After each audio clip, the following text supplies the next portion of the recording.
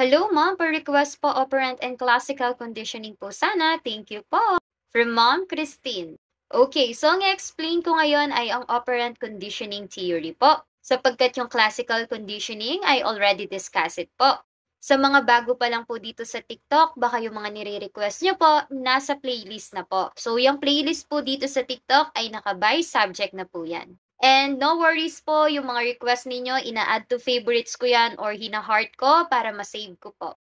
And kumukuha lang ako ng time para ma-explain ko po konti-konti. And now let's study the operant or the instrumental conditioning theory. So the proponent here is Boris Frederick Skinner. Again, the theory that we will study now is operant or instrumental conditioning theory and the proponent is B.F. Skinner. So here in this theory, we have a reinforcement and punishment na tinatawag. So under nila, may tinatawag tayong positive and negative. Okay, bago ko i-explain, gusto ko tandaan ninyo to.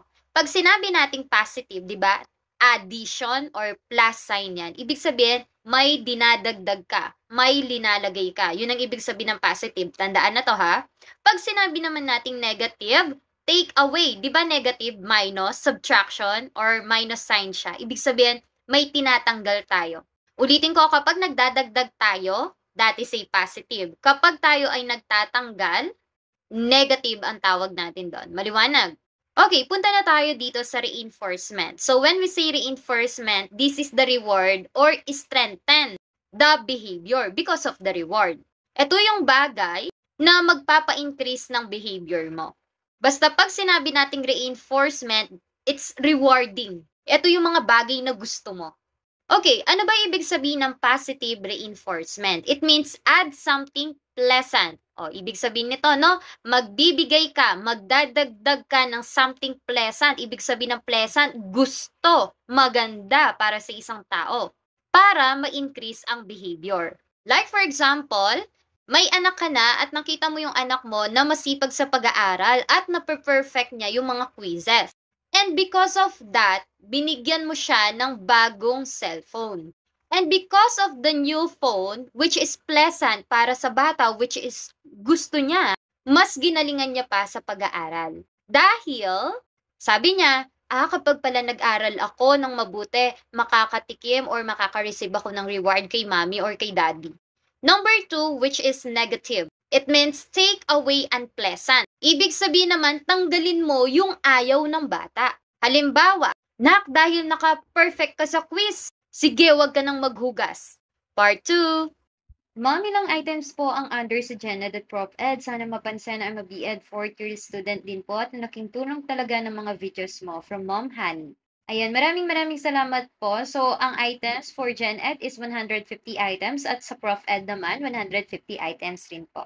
Good to know po, no? Nakakabilib yung mga nag-aaral pero hinahanda na nila yung sarili nila for let mga future LPTs natin. Kahit nasa first year, second year, third year, fourth year, nakakabilib po yan. Which yan yung pagkakamali ko. Dapat handa na kayo, marami na kayong alam para hindi kayo super kapa pag mag exam or before the exam. Even during the review, hindi na kayo kumakapa masyado. And because of that, let's have the part 2 of operant conditioning theory. So ulitin ko po, no, kapag sinabi nating positive reinforcement, may binibigay ka, nagdadagdag ka ng something na pleasant or gusto ng isang bata para ma-increase ang behavior na yon. Halimbawa nga, dahil nakita mo na very good siya, dahil gusto mo na patuloy siya maging very good, binigyan mo siya ng cellphone. Number two, which is negative. Sabi ko, pag negative, magtatanggal tayo, magbabawas tayo. So, nakalagay dito sa negative, take away unpleasant. Ibig sabihin, tanggalin mo yung ayaw ng bata, which is re- still a reward.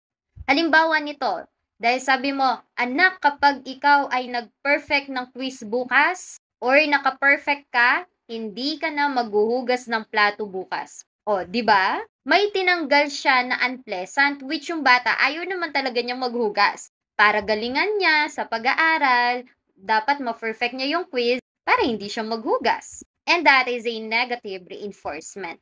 Huwag kayong papalito. Kahit sabihin nating negative yan, hindi naman talaga totoong negative. Ang ibig sabihin lang niyan ay may tinanggal lang na unpleasant para sa bata. Pag sinabi nating unpleasant, yung ayaw ng bata.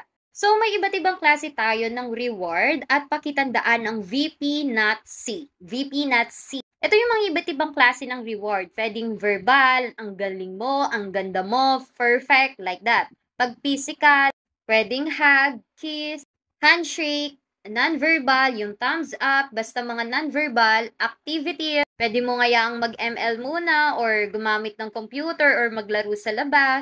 Then token, pag sinabi nating token, ito yung mga bagay na hindi mabilis mawala. Like the medals, like that.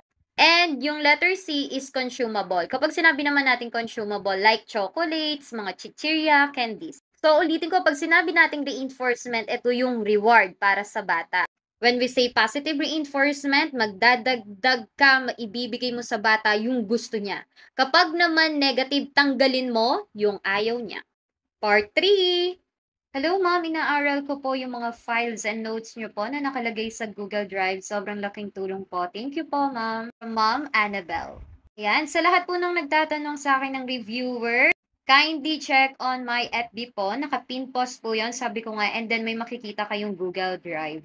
And favor lang po, kung pwede lang po, pa-follow na din po para lagi po kayong updated kung may ilalagay po akong bagong drills or notes po doon. And kung pwede din po, pa-subscribe na din po sa YouTube channel, sa Vinyl Vlogs, kasi doon po ako nagpo-post ng drills. Maraming maraming salamat po sa lahat ng mga nagpo-follow dito sa TikTok.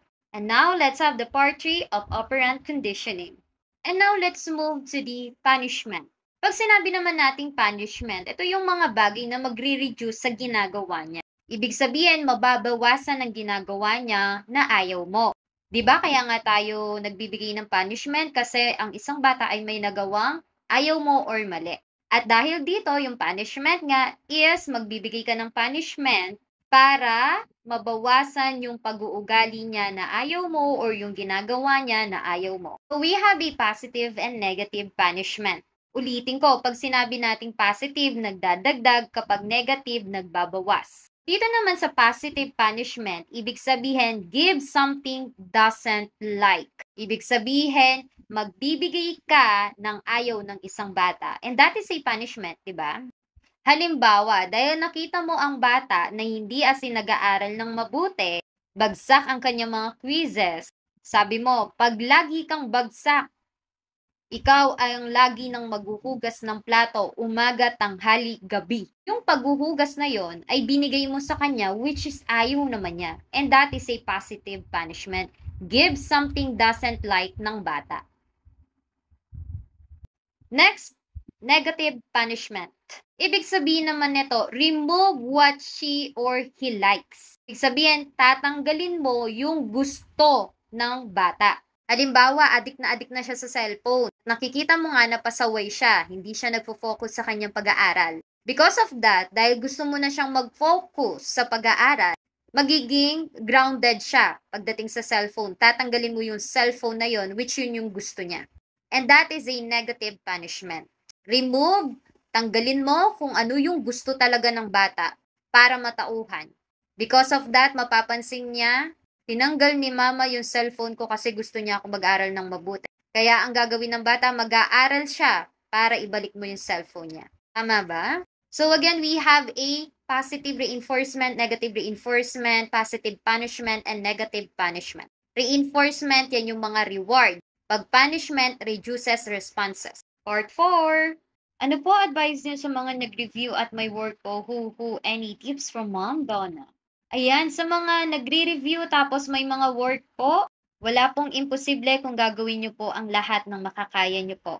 Dahil marami rin po akong kilala na mga nagtatrabaho, then nagre-review po, pero mga pumasa po. May kilala nga po ako, no? Mga halos nagtatrabaho sa call center, tapos morning session lang. After ng morning session, yung afternoon session, uuwi na sila kasi antok na talaga sila kasi nga ang trabaho nila ay gabi. Pero nakapasa kahit umuuwi. Pero ganito lang po yan, ang tips na may bibigay ko, manage your time po talaga. Time management ang pinakamahalaga dahil may oras ka para sa sarili mo, may oras ka sa trabaho at may oras ka sa pagre-review. At ang oras sa pagre-review ay dapat pure review. Magtiwala sa sarili. Imaginein na nahahawak ka ng lisensya na magiging guro ka at makakamit mo ang pangarap mo. Higit sa lahat, ipagdasal bawat ginagawa. And now, let's have the part 4 of operant conditioning. Mas e-elaborate natin. Okay, pag sinabi natin reinforcement, reward. Pag sinabi natin punishment, reduces. Kapag sinabi natin positive reinforcement, ibig sabihin may ibibigay ka.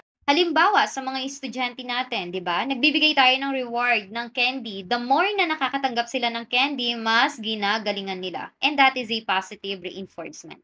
Next, pag sinabi nating negative reinforcement, halimbawa, sige, ang buong section na to, kapag naka-perfect lahat sa quiz, wala ng final exam. And that is a negative reinforcement. Ibig sabihin, nagtanggal ka ng unpleasant sa kanila. Siyempre, sino ba naman, di ba, na hindi ka na mag-exam, hindi ka na mag-final exam. And that is a negative reinforcement.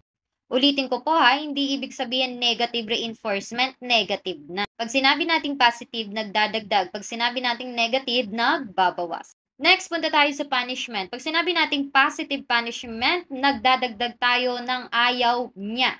Halimbawa, ang mga estudyante mo, dahil mga pasaway sila, ang ginawa mo ay nagdagdag ka ng items sa quiz mo. Kesa up to 20 lang, ginawa mong up to 40. Or kaya, dinagdagan mo yung project nila. Which ayaw naman nila ng project, syempre. Ang dami nang gawain, dadagdag pa. And that is a positive punishment. Ibig sabihin, nag-add ka ng something na ayaw nila. Dahil sa ginawa mo, dahil sa susunod, ayaw na nilang madagdagan ng project nila, syempre magpapakabait na sila. Next, punta tayo sa negative punishment. Ibig sabihin, tatanggalin mo yung gusto nila. Ibig sabihin, gusto nilang maglaro sa labas. So, ibig sabihin, may recess, tapos makapaglaro sila. Kaso, pasaway sila ang iingay ng mga estudyante. At dahil doon, negative punishment, hindi mo na sila palalaruin. Ingat!